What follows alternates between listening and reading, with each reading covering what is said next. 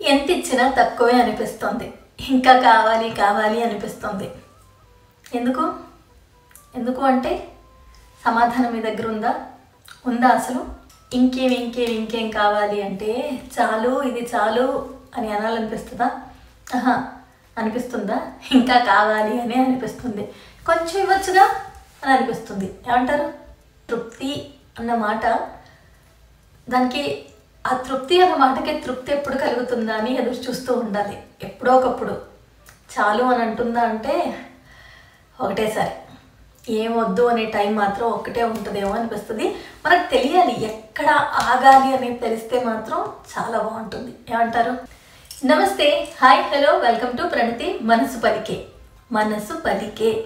అసలు మనసు అన్న మాటకి అర్థం కరెక్ట్గా ఎవరికైనా తెలుసా? తెలిస్తే కమెంట్ బాక్స్లో పోస్ట్ చేయండి. అంటే మనసు ఎలా ఉంటుంది? మనసు ఏం మాట్లాడుతుంది? మనసుకి ఏం కావాలి? మనసుకు అసలు తృప్తి ఉందా లేదా?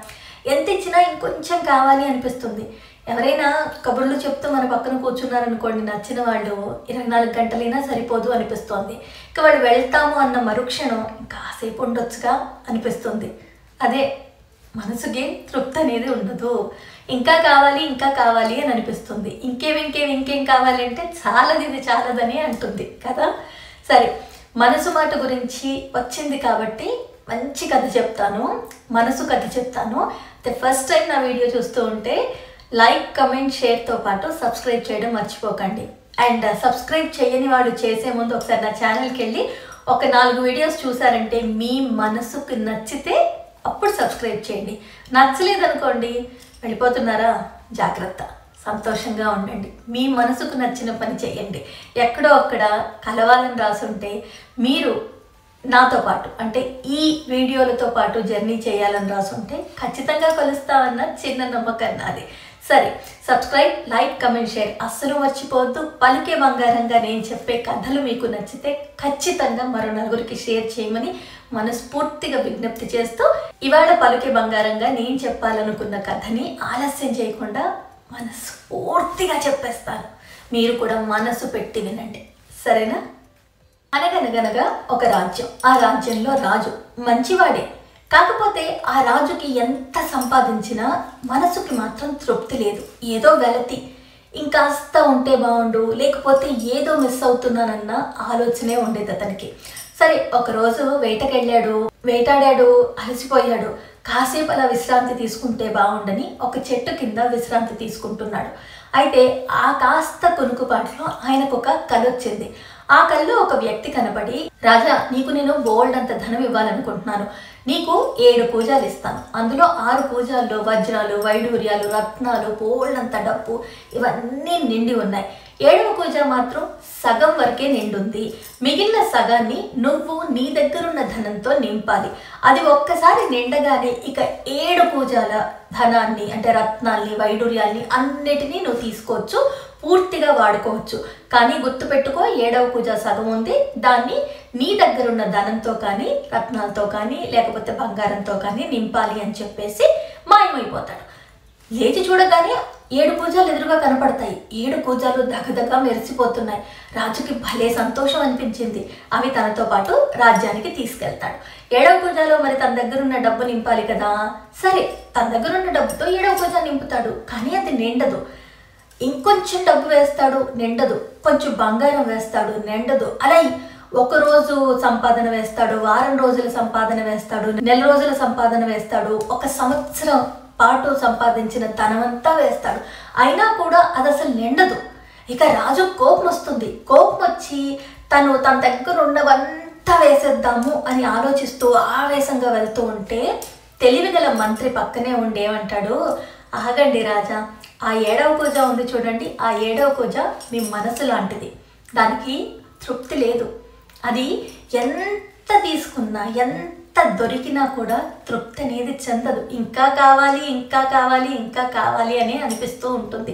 కాబట్టి ఆ ఏడవ పూజ నిండదు దాన్ని నింపాలని ప్రయత్నం చేయకండి అని చెప్పి చెప్తారు. నిజమే కదా మనసంతే. చూడండి మనకి డబ్బు లేదు. కాస్త డబ్బు వస్తే ఇంకాస్త ఉంటే బాగుండు అనిపిస్తుంది. కాస్త వచ్చింది అనుకోండి ఇంకాస్త ఉంటే బాగుండు అనిపిస్తుంది. అలాగే మనకి బాగా మనం ప్రేమించే వాళ్ళు మన మనసుకి నచ్చిన వాళ్ళు మనతో పాటు కూర్చొని కాసేపు మాట్లాడినా కూడా ఈ మాటలే ధనం దాకా ఎందుకు?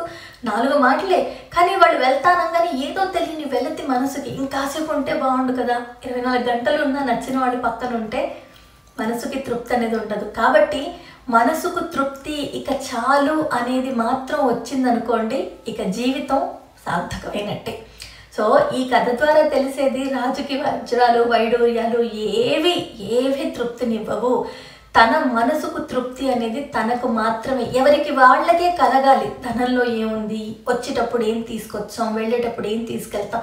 ఇవన్నీ అనుకున్నా కూడా మళ్ళీ ఏదో కావాలన్న మనసుకు ఒక ఆలోచన ఉంటుంది చూడండి. అది నిజంగా ఐ డోంట్ నో నా వరకు వస్తే నా అనుకున్న నలుగురు వచ్చి కూర్చొని నాతో మాట్లాడుతుంటే ఇరవై నాలుగు గంటలు కూడా సరిపోదు. ఇంకా మాట్లాడితే బాగుండు ఇంకా మాట్లాడితే బాగుండు అనిపిస్తుంది. వాళ్ళకి మాత్రం వెళ్ళాలనిపిస్తుంది. వాళ్ళకి విసుగు వస్తుందో ఏమో తెలియదు కానీ ఈ మనసుకి మాత్రం తృప్తి ఉండదు. ఏ ఇది ఎందుకు అర్థం చేసుకోరని నేను అనుకుంటాను. కానీ వాళ్ళకి వాళ్ళ మనసు ఏం చెప్తుందో నాకెందుకు అర్థం కాదో కూడా నాకు అర్థం కాదు ఒక్కొక్కసారి. అంతే ఈ మనసు గోల ఇంతే. ఎంత అర్థం చేసుకోవాలనుకున్నా ఎవరికి వారికి ఆ మనసు చెప్పేది అర్థమవుతుంది కానీ ఎదుటి వాళ్ళ మనసులో ఏముందో వాళ్ళు ఏమనుకుంటున్నారో అర్థమైతే ఈ మనసు ఇలా ఎందుకుంటుంది మనుషులు ఇలా ఎందుకుంటారు? బాబోయ్ ఎక్స్ టెంపులో ఏం మాట్లాడేశాను? ఎందుకు మాట్లాడాను? అంతే మనసులో ఏమనిపిస్తే అది చెప్పేశాను. మీకేమనిపిస్తుందో ఆలోచించలేదు. కానీ మీ మనసుకి ఏమనిపిస్తుందో కమెంట్ రూపంలో మీ అభిప్రాయాన్ని తెలియచేయండి. నా వీడియోస్ నచ్చితే లైక్ కమెంట్ షేర్ అస్సలు మర్చిపోవద్దు. ఒక్కవేళ సబ్స్క్రైబ్ చేయడం మర్చిపోయారా? చేసేసేయండి. అండ్ నలుగురితో పంచుకోవాలనిపిస్తుందా? పంచుకోండి. ఇప్పుడు మాత్రం ఈ మనసు గోల్ ఏంటో ఒకసారి మా వాళ్ళతో మాట్లాడేసేయాలి. దీని గురించి ఒక పెద్ద మీటింగ్ పెట్టాలనుకుంటున్నాను.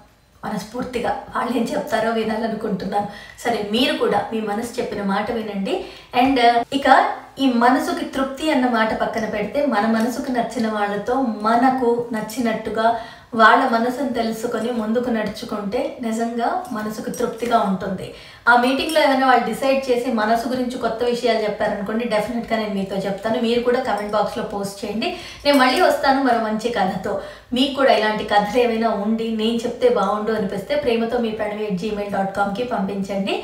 మనస్ఫూర్తిగా థ్యాంక్స్ చెప్తున్నాను. మీ పేరు చెప్పి మరో నలుగురితో నేను పంచుకుంటాను మంచి మాటని. మళ్ళీ వస్తాను మరో కథతో. అప్పటిదాకా ఎప్పుడూ చెప్పే మాట మీరందరూ బాగుండాలి అందులో నేను ఉండాలి. ఇది మాత్రం ఎప్పుడూ మనస్ఫూర్తిగా కోరుకునే మాటే. ఇందులో ఎలాంటి సందేహం లేదు. God bless you all. నవ్వుతూ ఉండండి. ఇంకొకరి నవ్వుకి మీరు కారణం అవ్వండి. అందులో ఉండే ఆనందం అంతా ఇంత కాదు. సరే మరి ఇప్పటికుండనా ప్రేమగా మీ ప్రణతి.